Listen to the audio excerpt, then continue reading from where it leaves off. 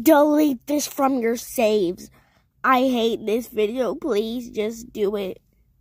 I'm going to be posting this and I just did something really cringe. Here's my little kid face.